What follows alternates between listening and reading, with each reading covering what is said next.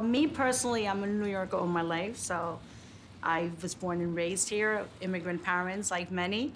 I'm very proud of my city, and I can say that one of the things I love about being a New Yorker is just that, like the multi-ethnic scene, getting to meet people in my job. There's a lot of different neighborhoods around the city that have influxes of different people, and I see it in my daily driving. Like just yesterday in the Bronx, I encountered a small influx of a neighborhood with a lot of Pakistanis in the Bronx.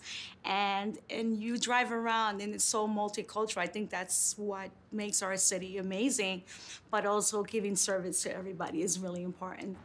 Every day, drivers ignore passengers on the street or refuse to take a trip dispatched by their base. This is a service refusal, and it's against the law. Okay, my favorite is driving or working in New York City gives you more privilege to meet so many different nations, nationalities. That is what about, that is what America is about. I start making money. That's what a lot of people make know about me. I start making good when I start going out out to borrow.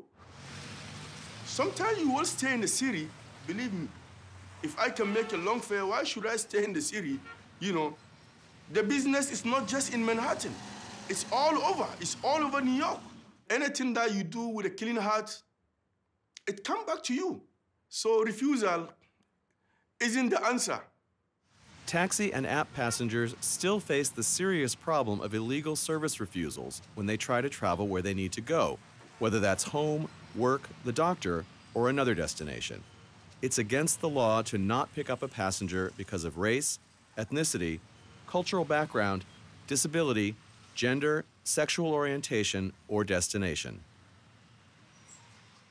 One of my earliest experience with service refusals was when I was about six or seven years old. Um, I was visiting New York with my parents and my younger sister from Philadelphia. And I remember it vividly. We, it was a cold day uh, right after Thanksgiving.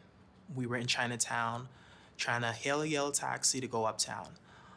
And I remember so many taxis just drove past us. My parents kept trying to hail one, and one after another just drove past us.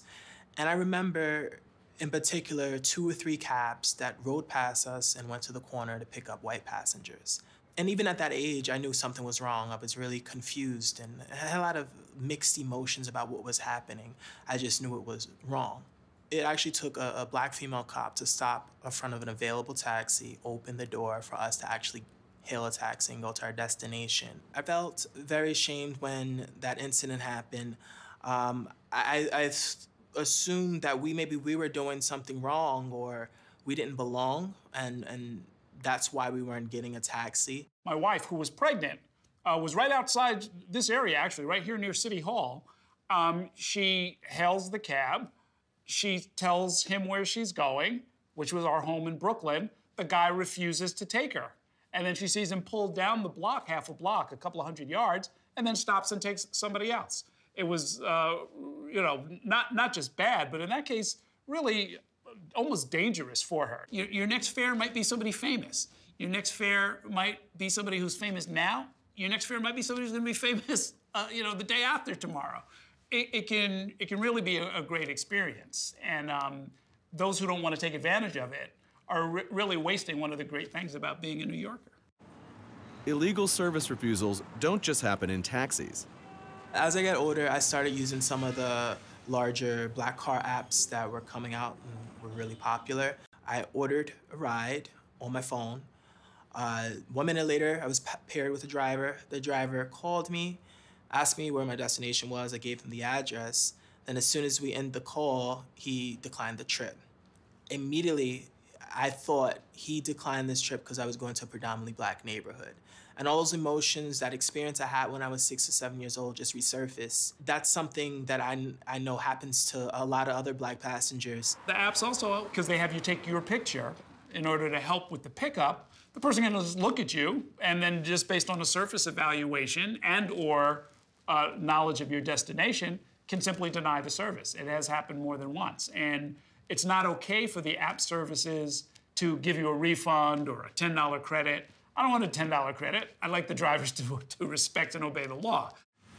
Many drivers know how it feels to be discriminated against.